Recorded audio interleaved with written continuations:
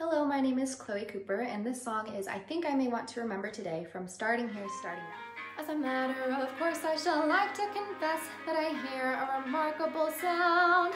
To be perfectly honest, I think it's no less than my heart that is starting to pound.